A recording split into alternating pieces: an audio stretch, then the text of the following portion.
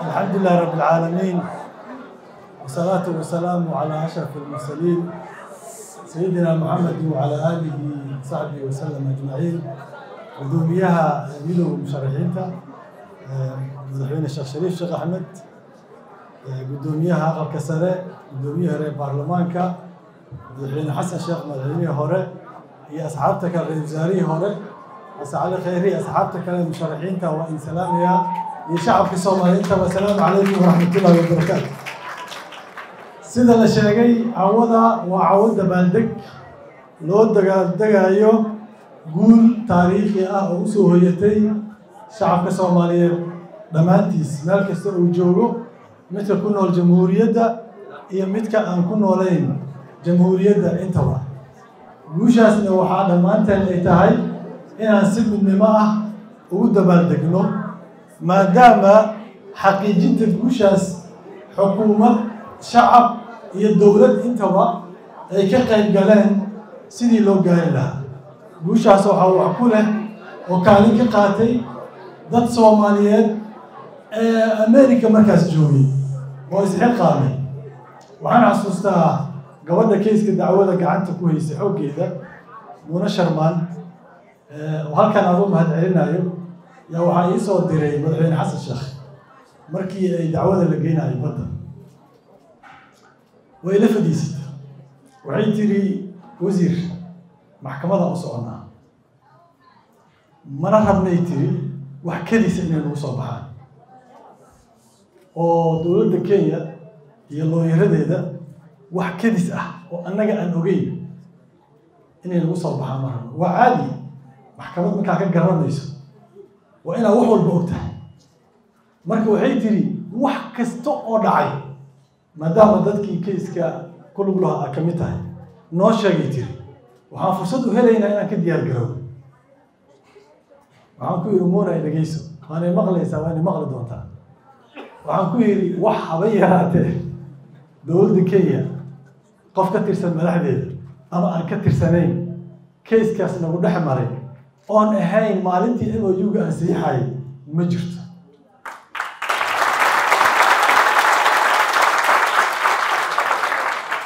Laa tax message isku dirnaan la helay walaa email isku dirnaan la helay walaa minutes fadhi aan yeelnaan la helay wax haba yaraatee. Waxaan ku ashuur garaynahaa yidhi inay dowladda kenya wax ku saabsan arrintaas aysan helaynin. Maalintii aan ku dhiiranaynay in badda kenya laga dhiciyo oo m u-ga aan siixno oo madaxweyne sheekh shariif iyo ra'isul wasaare cumar cabdirashiid oo xukuumadda joogay. Aniga dalka dibaddiisa aan ku maqnaa dhowr jaarna waa sheegay. Keliya waxaa la ii soo diray m o u-ga golaha wasiirada mandatekiisoona ahaa. Waa la socotiinoo saxiixyada caalamiga ah wasiirka arrimaha dibadda ama prime ministerka unbaa dowladda u saxiixi kara. Labadaba maadaama aysan joogin power of attorney wax la yidhaahdo ayaan ku saxiixay kama shakinin dowladdayda golaha wasiirada inta fadhiistaa qalad isku raacaa marna iguma soo dhicin inkastoo nin sharciga wax ka yaqaan aan ahay oo khabiir ku hay sharciga badda laakiin least sideed sana sharci darsahay? Oo gara kara og takiskana very simple oo ah waxa ku qoran. Laakiin waxaasoo dhan waxaa ka muhiimsanaa inaan dowladda aaminay oo go'aan golaha wasiirada uu gaaray sida hadda professor jawaari uu sheegay dowladda norway iyo wada cabdallo wada socda yaa u yimid dowladda oo ka tala arrintan. Inuu daylanka dhacay waktiga dhammaanayo haddaanan m o u-gaas la gelina baddayni ay international ku biirayso badaha caalamiga oo gacanteena ay ka baxayso. Inuu si fiican faahfaahiyaan jeclaa. Iyo sababtoo ah m o u-ga baarlamaankii sideedaad diiday kii sagaaladaa soo celiyay jawaari waa u yahay. M o u-gii baarlamaankii sideedaad oo diiday oo sida qaladkaa ku diiday baarlamaankii sagaalaad ee jawaari madaxda ka ayaa soo celiyay. Sababta waa loo baahday waana midka maanta loo baxsaday oo dacwada beso. Halka saa ay hadlaysay qaadiyadda maxkamadda go'aanka ridaysay waxaa sal u ahaa wuxuu ahaa m iyo dadaalkii looyarada saas daraaddeed waxaan ku raacsanahay in dowladihii iska daba xigay iyo baarlamaanadii iska daba xigay iyo xukuumadihii iska daba xigay qof kasta inuu ku lahaa kaalin lagu dara xataa midda hadda joogto. Uu farmaajo madaxweynaha ku sababtoo ah bareshar badanaa lagu saaray inuu dacwada soo celiyo. Oo wadahadal banaankaa la galo laakiin muusan yeelin? Xukuumadihii iska dambeeyey oo ra'isul wasaare kheyra ka joogo iyo ra'iisul wasaare hadda ninkii joogo roble iyo isagoo madaxweyneha ahaa iyo baarlamaankiiba qof ku dhiirato soo celisa ma jirin taas naftooda waxay ku mahadsan yihiin inay kaalintaas ay lahaayeen. Madaxweyne xashan sheekh sidoo kale ninkii ku dhiiraday dacwada inuu geeyo waxa aan sheekh ku ammaana waxaa ka mid ah e izadkeenna e izadka economic zonekeenna proclamation ma lahayn. Markii aan ka dacwoono kalluumaysiga sharci darada waxaana la dhihi jiray e izadkiina declared ma ah. Kama diiwaan gashan united nation isagaa diiwaan geliyay shirkii shirkii london yaan kala shaqaynayay xaafiiskiisa markaas la taliya u ahaa. E izadkaa lagu soo daray madaxweyne waxaan idhi bahalkan amaa ku guurta annaga hortaa ku guwade war ka leexaw dhahay. Dad dadka soomaaliyeed wixii ku jiro waa la sameynaa inuu ku dhiiraday.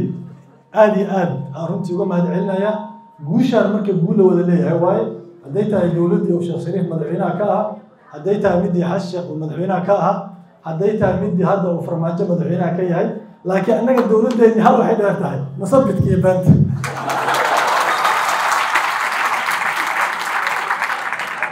annagii sheekh shariif iyo cumar cabdirashiid guusha waxaa ka wada keenay laakiin masabidkaa dad ka dheer dhahay saas daraaddeed nabigeena calayhi salaatu wasalaam wuxuu yidhi aniga waxaa la mid ahay ambiyada guri dhisan oo kale oo hal mutuleel hal maxaa la yidhahdaa bahalka? Labinada waxaa la yidhahdaa bulukeet. Hal bulukeet uu ka maqan yahay. Aniga bulukeetiga oo dhahay. Marka wuxuu dhahay bucistu liutamima makaarim alakhlaaq. Aniga waxaa la ii soo dira u dhahay akhlaaqda teeda wanaagsan inaan taam yeelo inaan bilaabo ma dhihin. Adduunka sifiga ilbaxan wuxuu ku dhisan yahay maamulba maamulkii ka horreeyey inuu appreciate garay uu ka mahad celiyo guushii oo gaaro oo dhan wax ku dul dhiso taasaa adduunka ilbaxa yaqaanaa diinteenna xaniifkaan nabigeennani taasay taqaanaa ciddii kaa horreysay waxay qabatay si adiga taada loo appreciate gareeyo ina adigana midii kaa horreysay aa appreciate garayso waa dhaqanka suuban. Runtii waxaa laga yaabaa dad badan inay isweydiiyaan. Waniga laba iyo toban sana lagu haraamaye see ku adkaysatay waxaa mar kasta fiirinaya marka aniga. Been abuurka ifkiyaa la yidhaahdaa meeshaana ku soo gabagabeynaya qisada sayidina caaisha ku dhacday. Waa la wada socotiin laakiin waa ina xasuusinaya iyadoo safar la yahay xoogaa inta banaanka aaday reer safarkiina uu degay nabigeena la socda calayhi salaatu wasalaam ay gees u baxday. Ay waxay aaday inay soo xaajaysato banaanka iyadii haween kale. Markii soo noqotay iyo waxaa isku aaday safarkii inuu dhaqaaqi rabo kuul ay laheed oo xoogaa yaro qaali aheed oo musalam ay ka soo daysatay ama ka soo isticaaraysatay ama ka soo tabalcaaraysatay yay weysay meeshii ku noqotay marka. Safarkii markay soo noqotayna waa tegey marka waxay istiri intaad lugay lahayd meeshaada sugoo lagugu soo noqona. Nin saxaabada ka mid oo safwaan la yidhaahdo oo socda yaa ku yimidoo sii qaaday marka. Markuu arkay inay tahay umulmuminiin caaisha. Ninkaasna nabiga calay sala slam inta badan wuu reebi jiray si uu safarka wuxuu ka soo tago oo u soo arooriyo markuu qaaday munaafiqiintii maxaa ku taqaanaa? Oo ay safarkii ka daba tagtay cabdullahi ibnu salool nin la yidhaahdo ibnu ibrahim saloola wuxuu yidhi wallaahi caaisha iyo ninkan safwaan waa kala xaajo guteen dacaydii u faafiyey. Madiina o dhan ay qabsatay. Caaisha ma oga way xanuunsatay safarkii ku daalaneed ayadaa ka sheekeynay saxiix bukhaari qisada ku taala. Way xanuunsatay gurigeeda iska tagtay. Ma oga marka wax laga sheegaya iyo suuqa dacay taalo o dhan ma oga. Laakiin magaaladii dhan aa suuqii wixii ala kala leeyahay saasaa dhacday ma aragtay saas ma yeesho saxaabada xataa qaar waa weynaa badda galay oo ku darsoomay bas maalinay waxay israaceen haween kale ayagoo bannaan ku soo qabaysanaya markii xanuunkii ka kacday.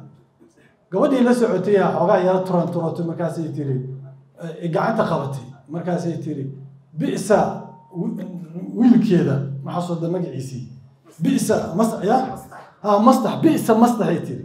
Balaayaa ku dhacda mastax wiilkeedii waaye markaas tiri maxaa ka rabtaa nin beder xaadire? Ma wiilka beder oo dagaalkii beder oo xaadire. Waxaas inuu kaa faafiyo ma maqal miyaa tiri caaisha markaasay naxday. Oo waxaasaa laiga sheegay haa oo nebiga ma ogyahay haa waa ogyahay.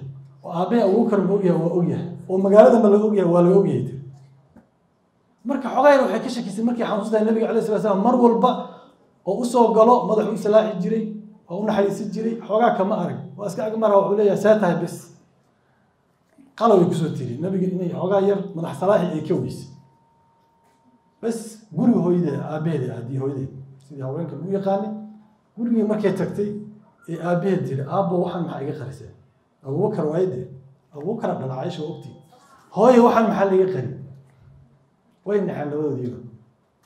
Way iska weysay adiga markii bil la maraa waxyigiina waa degaa waxyigii waa degaa nabiga alay waxyigi waa ku degaa nabiga intaas laakiin arrimaha caaisha lagama hadlayo suuqiina wuxuu u socdaa si aan caadayn nabiga markii dambe wuxuu u wacay usaama ibnu zayd iyo wuxuu wacay cali bin abi daalib wuxuu yihi wax xumaana caaisha maku ogtihi markaas le ma yaa waxba kuma ogi caligaa marka wuxuu yihi jaariyadda weydii gabadha jaariyadda ah. Gabadhiyo weydiiyey nabiga wax xumaana weligii kuma argay tir caaisha haba yaraatee. Marka nabiga waa soo baxay guriga habeeda ugu daba yimid hadal u dhahay marka. Wuxuu yihi caaisha haddii aad dembiga samaysana ilaah u toobakeen haddii aadan samaynina waxyiga ku bari yeeli doono caaisha way naxda marka. Aabeed abuu kale tiri aab u jawaab. Maxaa ugu jawaaba u dhahay? Hooyaday tiri u jawaab. Maxaa ugu jawaaba ay tiri nabiga hadalay tiri marka waxay tiri haddaan dhaho waxaan ma samaynin iga rumaysanaysiinay tiri. Haddaan idhaahdo waa sameeyane. Yah iga rumaysanaysaa ay tiri. Kaastaana rumaysateen. Sababtoo ah labalabaaba la geliyey warkii mogta ciddahda marka waxay weysay wax ka jir lama arka warkaana garab istaag xoogaa markii la joogay nabigii waa la qabtay. Sidii waxay u soo degi jiray tiri. Qisada bukhaariga ku warinaysaa dhiidkii sidii lagu yaqaanay qur'aankii aa ku soo degay aayadii ifkigoo taqaaniya toddobada aa soo degay. Aa la beriyaa abubakara marka wuxuu yidhi caaisha istaag ee nebiga raaligeli u mahad celi u mahad celi. Ha ka yaabinay tiri ilaaha u mahad celinahay tiri beriya marka adduunka been abuurka wax ka xun ma jiro